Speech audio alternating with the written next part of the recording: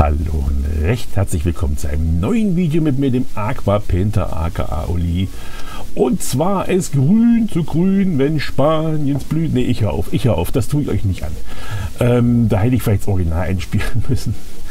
Ja, diese Folge, ach nee, warte mal, hier haben wir erstmal die Mauern. Das hatte ich im letzten Video euch unterschlagen, wie ich die angeklebt habe. Aber ich sag mal, das ist ja kein Hexenwerk. Da habe ich Kleber hinten ran gemacht, dann habe ich am Stoß immer Kleber ran gemacht und dann habe ich den Kleber hinten runterlaufen lassen, dass der dann sich auf der Platte verankert. Und dann habe ich einfach gewartet 24 Stunden, bis die Mauern fest waren. Hier haben wir eben schön den Kontrast gesehen zwischen der selbstgebauten Brücke und den selbstgebauten Mauern hinten. Fand ich übrigens sehr, sehr passend. Und auch mal was anderes. Hier kommen wir zur Gartenerde. Ich habe hier also eine ganz normale Gartenerde mir geholt, habe die trocknen lassen hier in den letzten Tagen und Wochen, wie auch immer und habe die jetzt in so einen Küchenmixer reingeworfen, den ich meiner Frau gemobst habe. Nee, den hat sie mir geschenkt. Der hat gesagt, den kannst du nehmen, da würde ich dann auch so Laub und sowas mit häckseln. Und habe die Erde einfach mal ganz kurz hier ähm, ja, zerschnetzeln, zerschnitzeln lassen irgendwie. Das ist eine recht, recht staubige Angelegenheit. Gut, dass ich in meiner Männerbude mache und nicht in der Küche oder sowas. Das hätte Ärger gegeben. Und jetzt sehen wir, dass das Ergebnis, ich wollte es nicht durchsieben. Also ich möchte keine einheitliche Größe haben, deswegen habe ich es ganz kurz da in den Mixer reingemacht. Dann ist das doch alles sehr, sehr schön unterschiedlich. Und jetzt fülle ich, wie man hier gut sehen kann, den Bereich hinter den eben angeklebten Mauern mit Erde auf. Das habe ich jetzt gemacht, da ja sowieso das da hinten alles ein bisschen dreckig sein soll, weil das ja Richtung Fabrik geht. Da ist ja auch die Mauer hinten mit aufgedruckt im Hintergrund. Das soll sozusagen der, der Zwischenbereich davon sein. Und da habe ich jetzt wieder die Erde da rein gemacht. Die steigt nach hinten leicht an. Das, ja, ob das jetzt wirklich funktioniert hat, dass es ein bisschen Tiefenwirkung gibt, ich weiß es nicht. Aber ähm, mir gefällt es unterm Strich. Und ähm, ja, ich habe das versucht, so ein bisschen auch uneben reinzumachen. Also keine wirklich glatte Fläche da. Ich hätte es ja auch ausgießen können. Aber nee, das wollte ich nicht. Ich wollte tatsächlich die Erde rein haben. Die hat dann auch gleich die richtige Farbe logischerweise. Und jetzt kam natürlich die olle Arbeit. Ich musste diese wirklich trockene Erde mit Wasser befeuchten. Und wer das kennt und auch hier sieht, weiß ja, dass das Wasser permanent abperlt oder abtropft, den Tropfen runterlaufen dann mehr oder weniger. Und dann war natürlich Geduld und Spucke gefragt. Da habe ich dann immer wieder ein bisschen einsickern lassen und dann konnte ich dann äh, so lange machen, bis die Erde dann wirklich feucht war. Und der positive Nebeneffekt, der ja gar nicht geplant war, ich könnte zwar jetzt sagen, das war genauso geplant ist, dass die Feuchtigkeit hier an der Mauer sieht man es ganz gut im Hintergrund.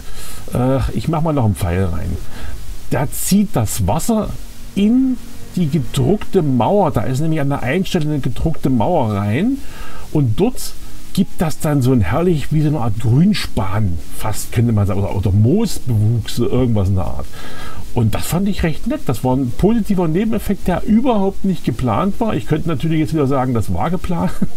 nee, das war es überhaupt nicht. Ähm, fand ich nett, den Effekt. Vielleicht sehen wir es hier gleich nochmal. Nee, sehen wir nicht. Egal, ich habe es ja vorhin dann äh, schon eingeblendet. Das habe ich ja nachträglich dann gemacht. So, jetzt kommen wir mal zu meinem Bäumchen.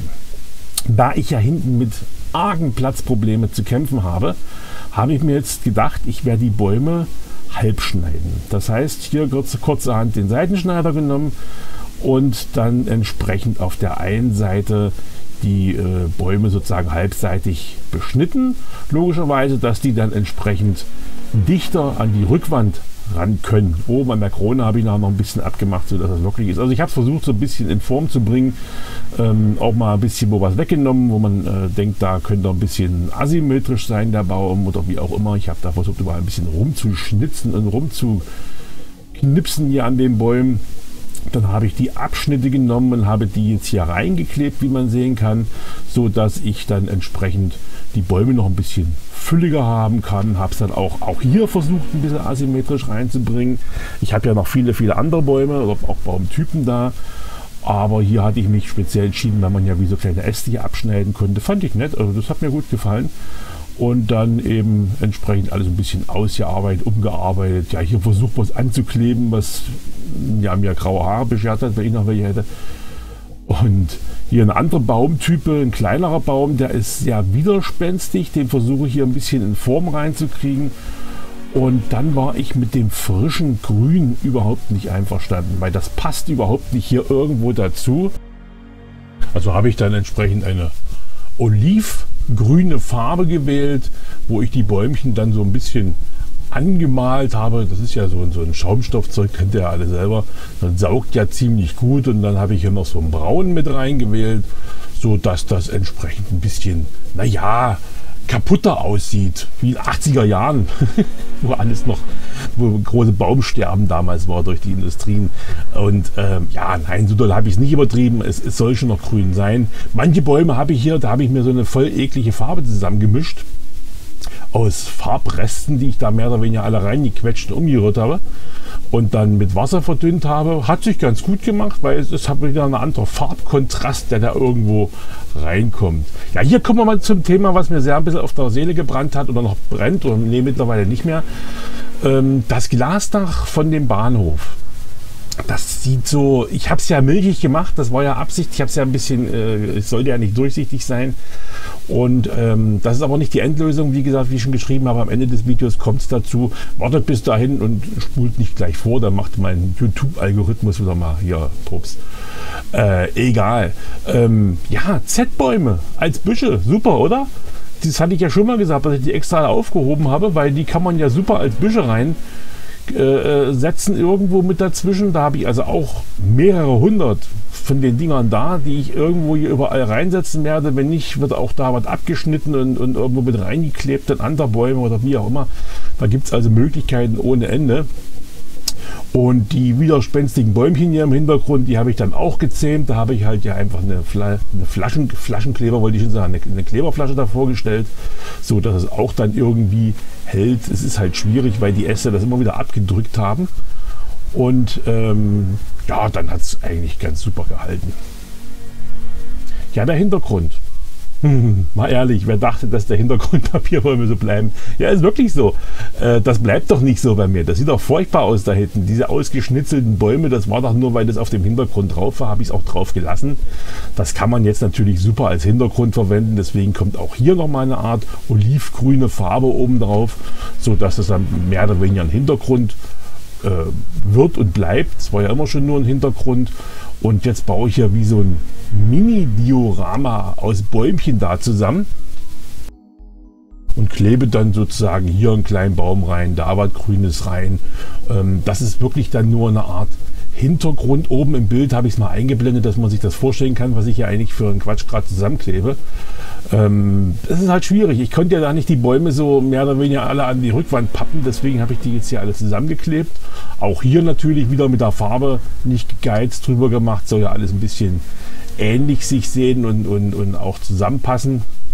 Und dann habe ich es hier schon rangeklebt, noch ein paar andere Bäume daneben gepappt, weil wir sehen da rechts, die, die ich gerade gemacht habe, hier sind noch welche daneben gekommen. Und so nimmt das doch langsam äh, ja, ein Bild irgendwo an. Das hat mir sehr gut gefallen, da die Lösung mit dem Bäumchen. Hier beim Pinseln sieht man immer, dass der Baum da mehr oder weniger nur oben und unten geklebt ist, was ja völlig, das soll ja nur halten da hinten. Da sieht man auch ab und zu noch die Klebereste. Und hier kommen wir wieder auf mein Travo-Häuschen, was ich ja schon angesprochen hatte, was ich absichtlich so ein bisschen verwaschen gemacht habe, weil das so im Hintergrund drin steht. Und ähm, ja, und das habe ich natürlich auch so mit so Grasflockzeug da beklebt und hier noch ein Bäumchen von der Z in die Ecke rein. Das habe ich dann geviertelt mehr oder weniger, dass es in die Ecke schön reinpasste. Noch ein Z-Bäumchen daneben, was ich jetzt hier gerade gerade biege und auch hier wieder so ein halber Baum links an die Ecke. Hier kommt also jetzt nicht allzu viel Grün. Und jetzt sehen wir auch dann schon das Islandmoos, was ich hier mit eingeflochten habe. Das ist jetzt der vorläufige Stand der ganzen Ecke. Das ist noch nicht fertig. Das kommt also in dem späteren. Ähm, das ist jetzt sozusagen der Grobaufbau des Ganzen. Da kommen noch viele Einzelheiten mit dazu, aber ich muss mich ja so ein bisschen durch die Anlagen durchhangeln und durcharbeiten hier. Und, aber ich denke mal, für diesen Grobaufbau kann man das Ganze doch schon irgendwo sehen lassen. Da kommt dann wahrscheinlich noch so ein kleiner Übergang rüber, wo die Arbeiter dann zum, zum Travohäuschen können und und und. Also da wird noch einiges gemacht. Und ähm, ja, entsprechend ähm, wird da jetzt wahrscheinlich in nächster Zeit immer mehr dazukommen. Jetzt sehen wir nochmal den Unterschied der beiden Mauertypen oder auch hier vorne die halt die Brücke und die Mauer dahinter. Ja, jetzt gucken wir uns den Bahnhof nochmal an. Ja, fehlt da nicht was? Natürlich fehlt da was. Da fehlt das komplette Dach. Ich habe das komplette Glasdach des Bahnhofs entfernt. Aus heutiger Sicht habe ich mich geärgert, dass ich den Bahnhof nicht generell zu 100% selber gebaut habe, weil es ist ja nicht mal viel übrig im Grunde genommen. Die Plattform unten, ja mein Gott, das kann man ja schnell mal selber bauen. Und die Masten oder die Pfeiler da, die das jetzt tragen, die kann man genauso gut aus dem 3D-Drucker sich ausdrucken. Aber ich habe jetzt aus einer Not eine Tugend gemacht. Da habe ich wieder mal meine Schnürgel genommen, die größeren, die ich ja links und rechts ursprünglich dran hatte, habe ich mal schnell noch sechs Stück ausgedruckt und setze die jetzt hier oben auf die Masten auf, weil nämlich durch diese Schnürkel, die da oben drauf sitzen, später habe ich mir überlegt, dann dort nämlich die Kabel durchkommen die dann sozusagen die Stromversorgung darstellen. Die kommen aber erst viel, viel später. Ich habe es ja schon mal gesagt, dass sie da hinkommen. Aber solange ich da oben rumfummel und rumarbeite, ähm, werde ich natürlich dann noch keine Kabel durchlegen, die ich dann wahrscheinlich ständig abreiße oder wie auch immer. Und dann äh, ärgere ich mich, dass ständig alles äh, neu gemacht werden muss und so weiter. Das macht ja auch keinen Spaß irgendwo. Ja, nachträgliches Arbeiten brauche ich nichts zu sagen, ist ein Krampf weil man da ja fast nicht hinkommt. Ich meine, bei meiner Anlage geht es noch von der Entfernung her, aber noch weiter weg, da würde man gar nicht mehr zurechtkommen. Aber hier diese kleinen Magnethalter machen sich da ja im Grunde recht gut. Ja, hier sehen wir noch mal einen kurzen Überblick. Mein Dobbingen-Stellwerk hier rechts, dann der linke Teil davon ist ja alles beleuchtet, das habe ich euch schon mal gezeigt. Und im nächsten Video habe ich eine weitere kleine Überraschung für euch, was ich mir da ausgedacht habe. Dann verabschiede ich mich bis dahin, sage erstmal schön, mach's schön gut, dein Aquapainter AK Uli. Schön, dass du dabei warst. Tschüss.